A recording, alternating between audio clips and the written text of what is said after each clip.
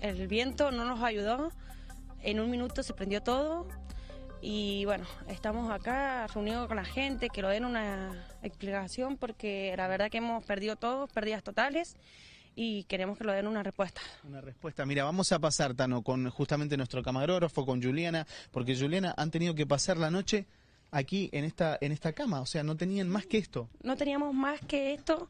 Estos fueron donaciones que llegaron y así como llegaron pudimos quedarnos acá a cuidarlo que poco que lo has quedado porque Pusieron una carpa arriba de techo sí, tuvimos para, que poner para evitar el frío. Sí, sí, sí. Y de allí, mira, te voy a seguir mostrando, Tano, vamos a seguir recorriendo la casa para que vean ustedes cómo ha quedado. Pasar por la carpa, sí, ahí vamos a dejar pasar a nuestro camarógrafo.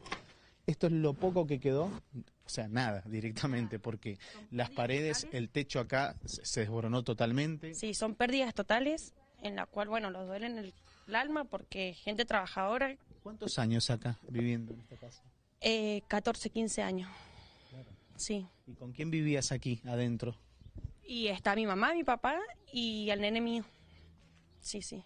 Nos decías, eh, las llamas llegaban, pasaban los cables, entonces eh, no podían hacer nada y la gente, eh, digamos, corría desesperada, ¿no? Hasta donde llegaba las llamas. Claro, ahí, está el- ahí estaba el tanque, ¿no? Sí. Eh, la gente corría desesperada, la gente eh, porque no sabían qué hacer, incluso atropellaron a un vecino, nos contabas fuera de cámara. Sí, sí, sí. Muchos accidentes.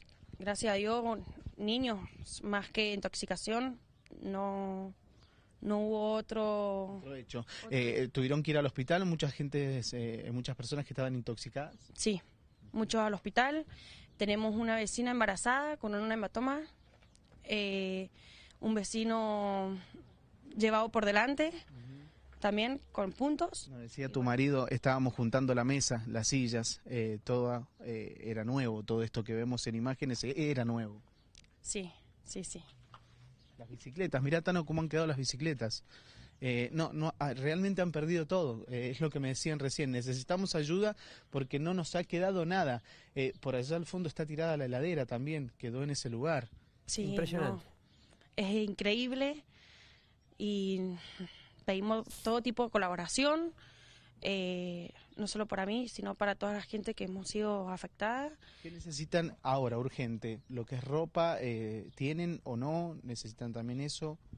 Y eh, de todo un poco, ya sea ropa, alimento, eh, agua, porque muy poca agua, y bueno, más para los niños.